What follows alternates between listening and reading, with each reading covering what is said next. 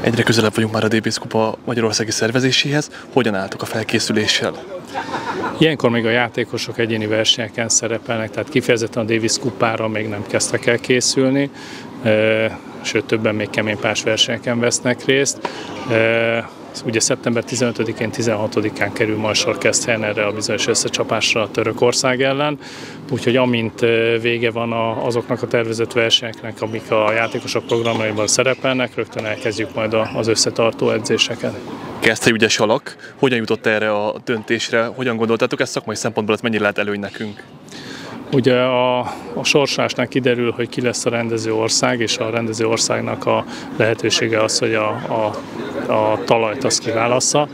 Ismerve a törökök E, játékosait, az ő stílusukat, ez tűnt szakmailag a legindokoltabb döntésnek, salakpár megrendezni a versenyeket. Tudjuk, hogy a mi játékosaink is milyen játékerőt képviselnek ezen a borításon, úgyhogy szerintem ez volt a, a, a legjobb döntés. Esetleg párosításokon már gondolkodtatok, hogy kivel lenne érdemes kezdeni, ki kivel állhatna a pályára?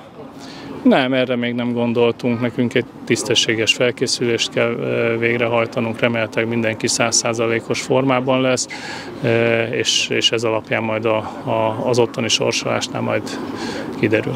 Egy olyan kérdést engedj meg, hogy a Bíró Zsombor sérülés miatt lépett vissza a US Open-től, akkor rá is lehet majd számítani egy hónap múlva?